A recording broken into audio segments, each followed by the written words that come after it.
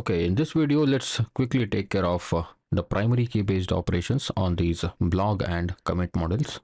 You know what, it is very simple. We have already used generics.retrieve update destroy API view, right? So that is what we are going to use for this blog detail view and a comment detail view. First of all, let's configure the URL patterns for this. So we currently have two paths for getting all the blogs with the comments and uh, we have another path for the comments. Okay these two are non-primary key based url patterns. And now let's uh, create another one and say blogs forward slash. And we will uh, also need the primary key right? We'll pass okay not like this. It should be int colon pk and close this angle bracket and forward slash. Then comma views dot we'll have to create a view. Let's say blog detail view dot as view. Because it is a class based view right? So that's why. All right. Next uh, we will also create another one. I'll copy this one and i'll paste it. So this time it will be comments comments colon primary key and after that it will be comment detail view. Comment detail view. Okay. Let's save this and let's uh, create these two classes. Okay. Let's say class blog detail api view and i will uh, return uh, not return i will pass it.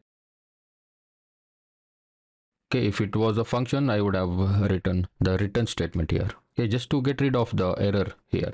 Okay because uh, however we are going to take care of it in a moment right? So for this one i'll write class comment detail view and for now i will pass it. Okay. Um has no attribute as view. No worries. Okay so here what we'll do is we'll actually inherit generics dot retrieve update destroy view. This will take care of retrieving a single object updating a single object and destroying the object. Okay? Similarly we will also pass this one to this comment detail view also. All right now you see we don't have any errors.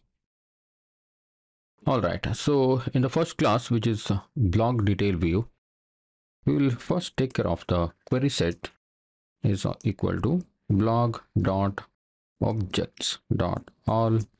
And after that we need to provide the serializer class is equal to blog serializer. And because this is a primary key based operation we will have to provide the lookup field. Lookup field is equal to pk so only this much code and it will take care of the retrieving updating and destroying the objects. Let's check. So we'll go back to my browser and uh, so this url is giving me all the blogs with the comments right?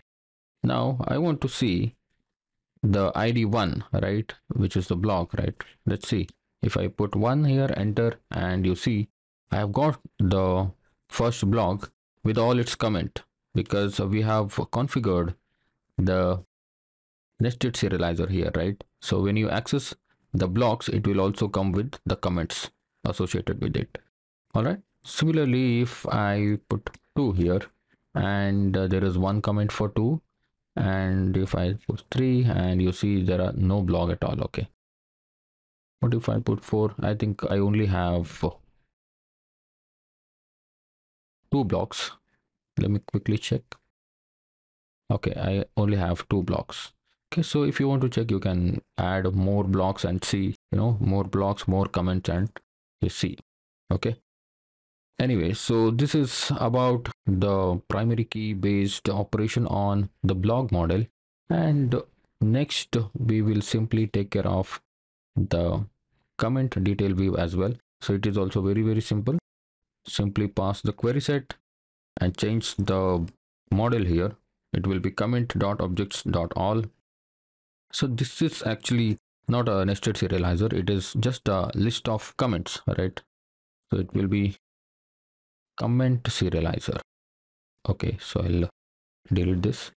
Okay so i got this comment serializer and after that we need to also provide lookup field which is based on primary key. We need to fetch the data okay? So if you're working on any big blog application or the e-commerce application where you want to look up the object with the slug instead of primary key then you will have to pass slug here. Okay, like this. Okay so this is how we perform primary key based operations. And let's check. Put comments here.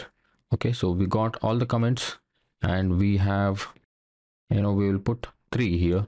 Let's see. Okay so we got this one. And you see we have edit form and delete as well.